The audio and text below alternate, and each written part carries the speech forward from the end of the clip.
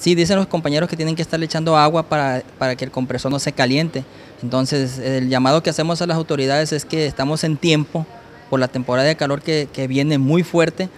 Ahorita, si pueden ver, está solo, pero yo creo que para la semana que entra ya los ciudadanos empiezan a tramitar sus placas, sus licencias, todo poner en orden para salir de vacaciones y la afluencia va a ser mayor, por lo tanto el calor se va a sentir mayor y aquí es para los dos, tanto para el usuario como los trabajadores un ambiente agradable tanto de trabajo como de atención al público.